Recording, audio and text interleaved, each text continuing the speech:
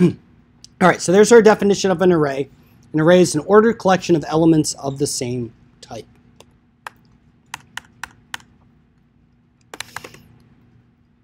Um, an array variable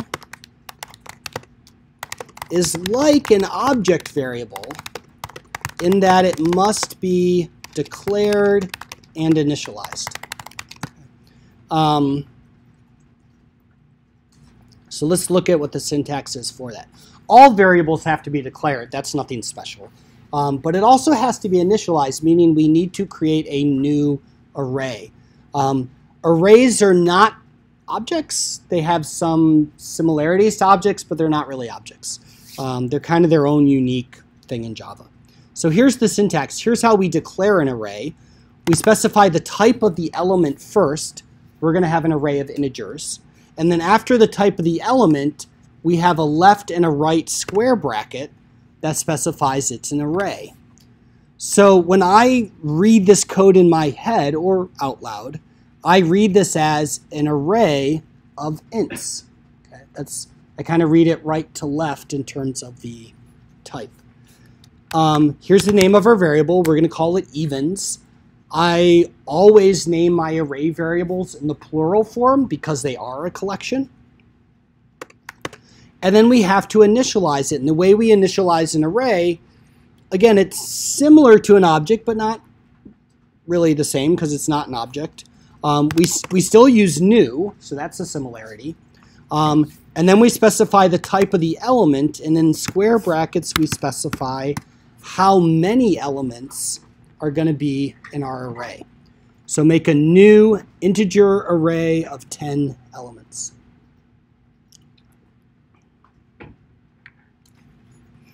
So let's capture a little bit of this in our notes. The number in the square brackets specifies the number of elements in the array.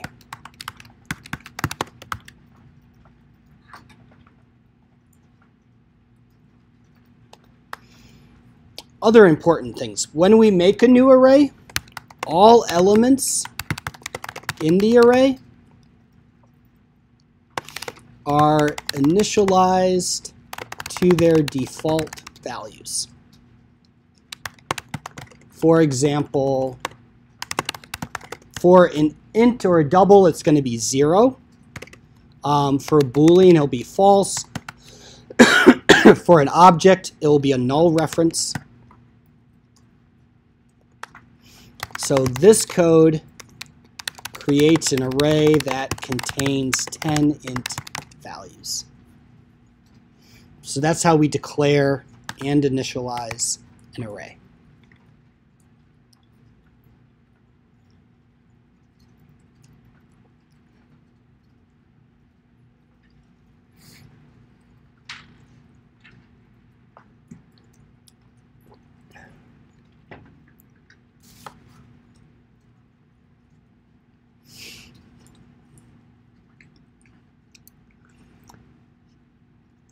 Here is the mental model that you should have when we do arrays. And we're going to keep referring to this mental model over and over again. Um, evens is our local variable, right? Our local variables back to our physical model, we have a post-it note labeled evens, just like we do for every variable.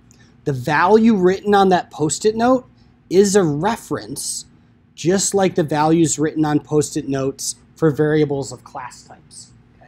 So the value on the post-it note is a reference to somewhere in the computer's memory. In this diagram, it's indicated by an arrow instead of the actual like number reference, because um, visually that works out easier. So somewhere in the computer's memory is a chunk of memory where there is room for 10 integer values. And the initial value of those 10 integer values is zero, okay, because we just initialized our, our new array. So there's certainly some similarities here with variables that reference objects and the objects being stored on the computer's memory. Um, we still have references involved even though arrays aren't objects. So that's, that's what our mental model looks like so far right now. All right, so now we want this to be an array of even values, 2, 4, 6, 8, 10. So let's, let's do that. So we want to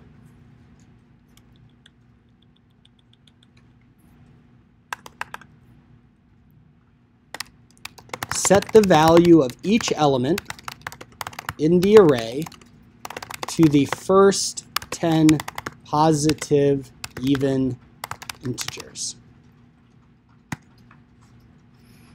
Well, we'll add some more notes here in a, in a second, but what's that look like from a syntax perspective?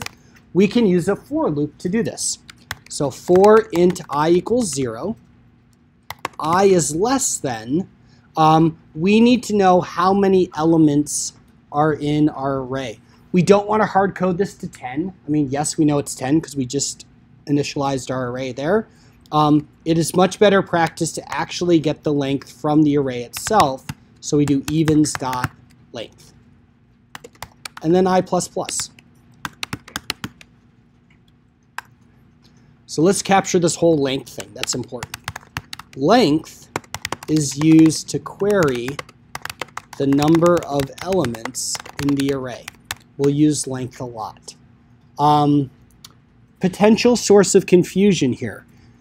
When we worked with strings, and we need to know how many characters are in the string, we also use length. Okay? But strings are objects from the string class, and so when we use length, we're calling the length method defined in the string class, so there are parentheses after it because it's a method. There, arrays are not objects. There are no methods that we can call on an array. Dot length is much more like a public instance variable kind of than it is a method. So it's just dot length without any parentheses. So Java isn't always consistent about it, um, about this. And it's going to get even worse. But um, so try to keep those try to keep those straight. All right, so how do we reference the, how do we set a value of a specific element in an array? Um, syntax, from a syntax perspective, it's similar to Python actually. So evens square bracket i equals i plus 1 times 2. So let's talk about those square brackets. Square brackets, and again, just to be clear, that's what they look like are used to reference a specific element in the array based on its index. Indices are zero based. So here is a nice consistency with, with strings, right? Um, so when we were referencing specific characters within a string, we do it by index, like with index of or char at or substring methods, um, and they were zero based, meaning the first character was at index zero. Arrays are the same. Um, the first element in the array is at index zero. Um, and we use square brackets to both get and set the value of a given element in the array by its index. And that's why in my for loop, I used my loop variable, I use i, because i is short for like index. Um, so when I'm indexing through an array, I will always use, almost always use, um, okay, not always, but in a lot of cases, I'll use the variable i um, as the loop variable to make it clear like I'm dealing with an index. So. All right. So at this point, our mental model looks a little bit different. Now, our local variable evens, its value is still the same reference to the chunk of computer's memory, but now in the computer's memory, um, where there were before 10 zeros, there are now 10 even integers 2, 4, 6, 8, 10, 12, 14, 16, 18, 20.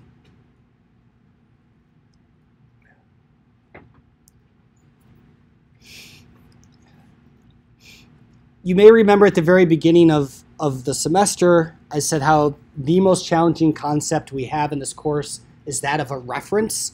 Um, and we dealt with references from objects and stuff. Now we're seeing references in the context of, of arrays. So I want to keep focusing on this reference thing. So to reinforce this a little bit, let's actually print the value of evens. Because that is the reference. So we are going to print the reference to the array. And that's very different than actually printing all of the elements. So let's also write another for loop that iterates through each element by index and prints the index and then a colon and a space and then the value at uh, in the array at that particular index.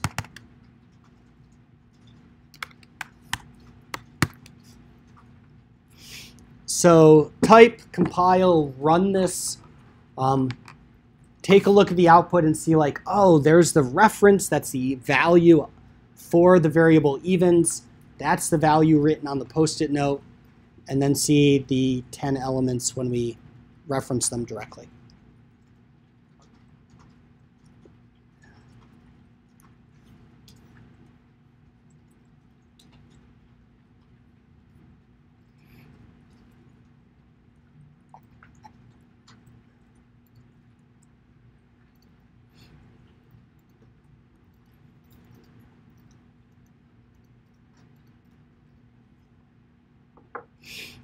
I'm going to compile and run it as well, just to make sure it's working.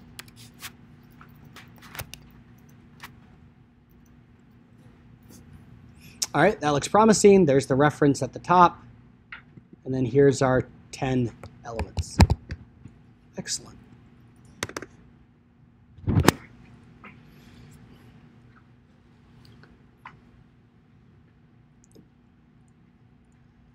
There is a second way to initialize an array, which can be super convenient if we know what values we want in the array. So let's write a separate method to create an array of odd integers, um, and we'll initialize the array uh, this alternative method. So I'm going to create another public static void method called create array of odds.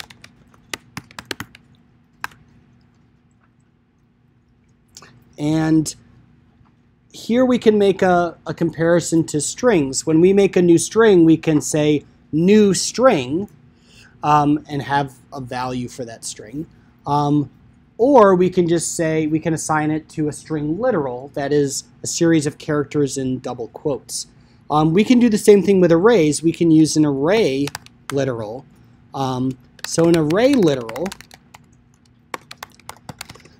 an array literal is defined by curly brackets and comma separated separated there go. values can be used to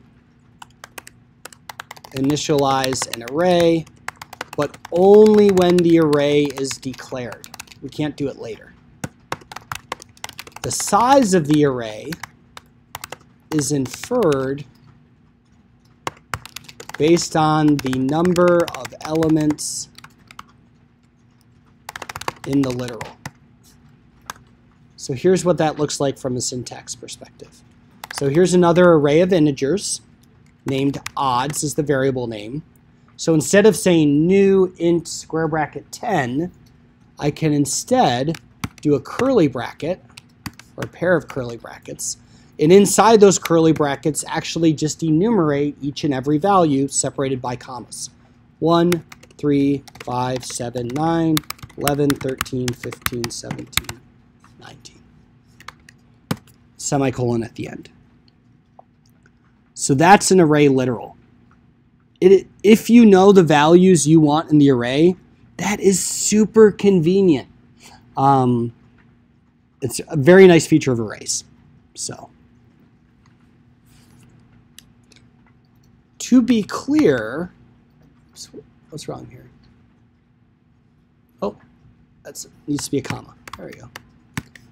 To be clear, we can't do this though. We can't later say, oh, odds equals 1, 1, 3, 5. That's not going to compile. Okay, and in fact, when Java sees that, it's going to be so confused, it's just going to give you the generic illegal start of expression. It doesn't understand why you have a curly bracket after the equal sign in that context. So that's what I mean by we have to, we can only use an array literal when we're declaring the array. So this won't compile. So let's comment it out.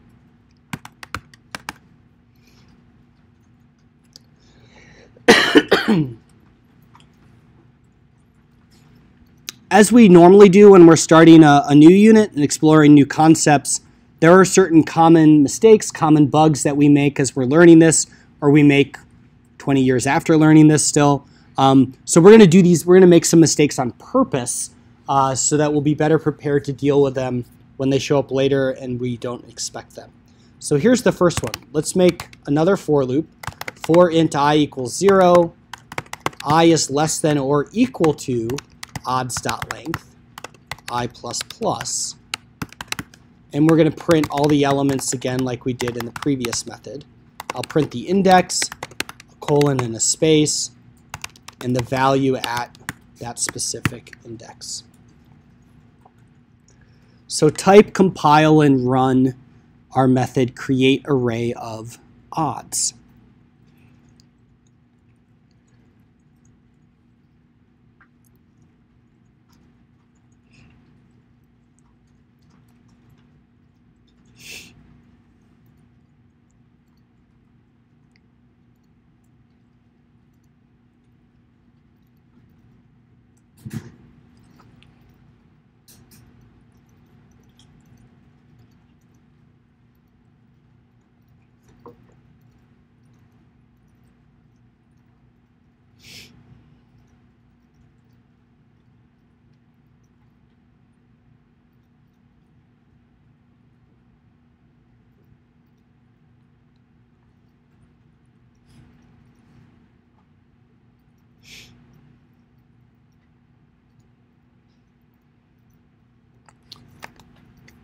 And I'm going to run it as well. And when I do, the program crashes. And if we look at the bottom of the window here, we see we have a java.lang.array index out of bounds exception. And I love the detail we get in this exception. Index 10 out of bounds for length 10. So it's basically telling us, hey, the length of your array is 10 elements. So remember, your valid indices are between 0 and 9 inclusive, but you specified an index of 10, you're off by 1. Okay. And so definitely take the time to read the, the helpful hint here because that now we know, hey, the issue here is that i is has a value of 10, which it shouldn't. So just to show you visually what that looks like, here's our visualization for the variable odds, which references an array with those 10 elements, the valid indices, the numbers written for each cell, oops, sorry, the values written for each cell are here in the upper left of each cell. The first index is 0, the last index is 9. That's why we get the exception when i has a value of 10. Okay. So, two things. Let's add a comment because this is a very common bug that we will run into throughout our programming career. Bounds error. Arrays have a fixed size once initialized. We cannot make an array bigger, we cannot make an array smaller. Okay, our only option is if we want to change the size of an array, we have to make a whole new array, copy all the elements over. Okay? There's no way to change the size of an array the index specified must refer to a valid element. Otherwise, an array index out of bounds exception is generated.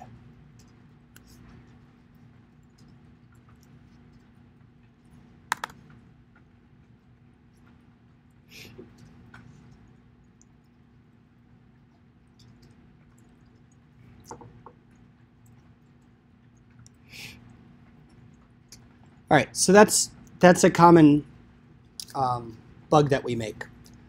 Another thing that we tend to struggle with in terms of arrays comes back to references, which I mentioned earlier.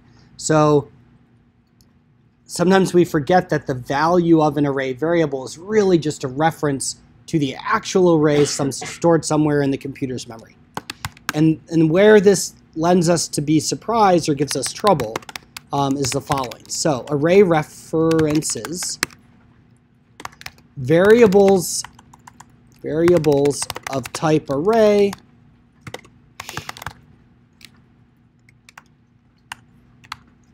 contain a reference to the array stored in the computer's memory. Assigning one array variable's value to another copies the reference, not the array's elements. Here's what I mean by that in terms of code. So if I declare another array of integer variable called more odds, and I assign it the value of odds, I now have a second post-it note labeled more odds. And with the assignment operator, I'm going to take the value of the post-it note labeled odds, and I'm going to copy that value onto the post-it note labeled more odds. I am copying that reference. This should be familiar at this point. We, we explored this with rectangles. Um, some of you ran into this with grids in the game of life, right? You had a line of code that was like grid, new grid equals grid, right? You just copy the reference of the original grid, you now have two variables referring to one and only grid object, right? Here, now we have two variables referring to one and only one array. So when we do stuff like this, when we say odd sub 2, oh, little note about like just how we often speak about arrays. Um, we don't usually say like odd square bracket 2 or something if we're like reading the code. We often, and I don't know, I'll be honest, I don't know why, we say odds sub 2 for the thing in the square brackets. So odd sub 2 means the value of the element at index 2 in the array odds. But we say odd sub 2 equals 6. And then if we were to print the value of more odds at index 2, we're going to see it still prints 6 because we have two variables referencing one and only one array. So it doesn't matter if we use odds or more odds. They both refer to the same array.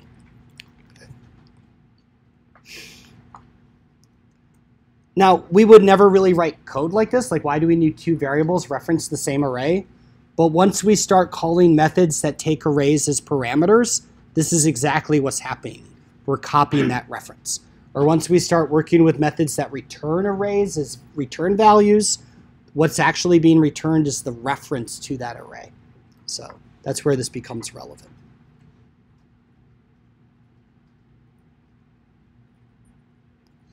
To help you out, here's what it looks like visually.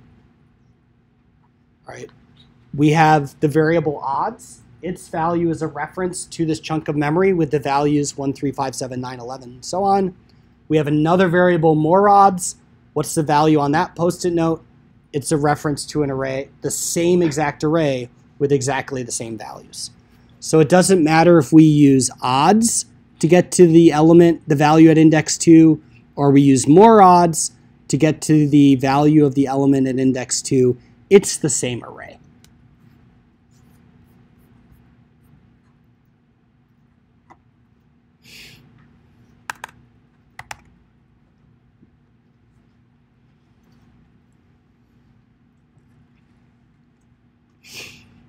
In our previous unit, when we were doing loops, I, I shared that there was one more type of looping structure that we would learn in this unit.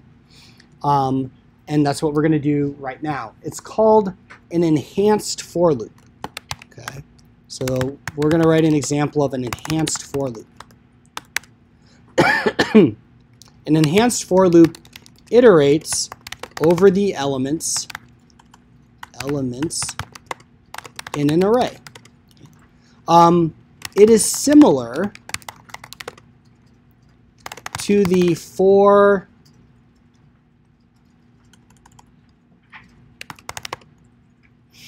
for value in dot dot dot structure in Python.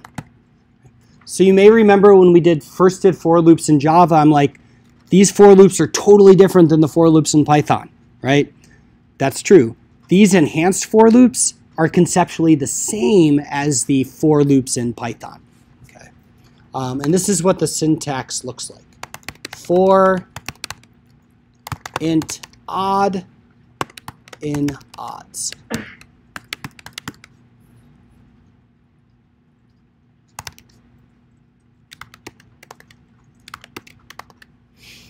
All right. So I want to explain like how I read this. So that's what the syntax looks like. It's, we still have a for, we still have parentheses. We still need to declare our loop variable, and then we have a colon and the name of the array. When I read this, I read this as for each odd in odds. Okay. And I choose my loop variable very consciously. I make it the singular form of the name of the array. So if I, if I have an array of strings that represents names, I'm going to name that array variable names. And my enhanced for loop is going to say for string name colon names. Right? If I have an array of turtles, I'm going to name that array turtles. And my enhanced for loop is going to say for turtle turtle colon turtles. And the reason why I'm very conscious about this, and I strongly encourage you to do as well, is that a common source of confusion is that with this for loop up here, the value of i in this traditional for loop is the index of the elements in the array. The value of i in this for loop is going to be 0, 1, 2, 3, 4, 5, 6, 7, 8, 9. The value of odd in this for loop is not an index and has nothing to do with indices it is the value of the element. Okay, in this case, it's going to be 1, 3, 5, 7, 9, 11, so on and so forth. So it's important to keep these two for loops, they're both for loops, but they behave very differently, um, and the loop variable represents totally different things. Um, so please keep, keep that in, in mind. So if we just want to print all the values, this is a very easy way to do that.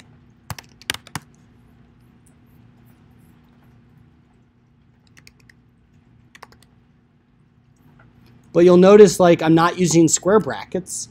And in fact, in the context of an enhanced for loop, I would never use square brackets because I don't know what index I'm even at. Um, I don't need to use them because odd is already assigned to and copied each element out of the array.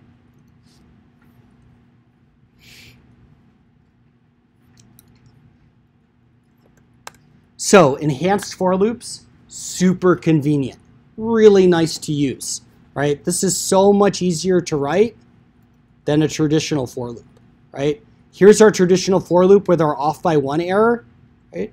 We don't have to worry about any off by one errors. We cannot get a bounds error with an enhanced for loop. We can't mess it up. It's wonderful, right? With this convenience, though, comes some limitations. So I want to be upfront about these limitations because my advice to you is if these limitations don't apply, use the enhanced for loop. It's much less error prone. If the limitations do apply, okay, you got to fall back on a traditional for loop. So here are the two limitations, limitations of enhanced for loops. And if you have a strong understanding of variables and values and references, these are going to make total sense. So the local variable, variable in this case odd, contains a copy of the value of the element in the array. So this local variable odd, every time we have a local variable, we get out a new post-it note. We have a post-it note, we label it odd. What's the value on that post-it note? Well, the first time this loop runs, it's going to get a value of 1 we write the number 1 on the post-it note. The next time the loop runs, we get rid of the 1 and we write the value 3 on the post-it note. Other than the fact that we're copying the values out of the array stored in the computer's memory, that post-it note is independent of the array. if we change the value on that post-it note, it has no effect on the values stored in the array. Okay? So because of this very behavior, the first limitation here is that we cannot modify the elements in the array. So if we want to change, if we want to increment all the elements in the array by one, we can't use an enhanced for loop. We got to use a traditional for loop. The other limitation is that we cannot easily determine, keyword here is easily, we, if we work at it we could, easily determine the index of an element. So if we need to know the index of an element, stick with the traditional for loop. Okay? But often, guess what? We don't need to modify the elements in the array, and we don't care about their indices, so the enhanced for loop is the way to go. So here's an example that illustrates um, the limitations. So for int odd, so for each odd in odds, is again how I read that, odd plus equals 1. Increment the value by 1.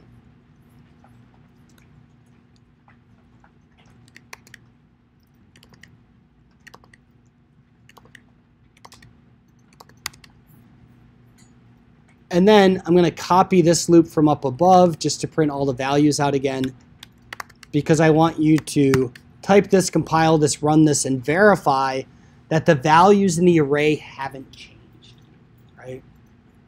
We can't modify those using an enhanced for loop.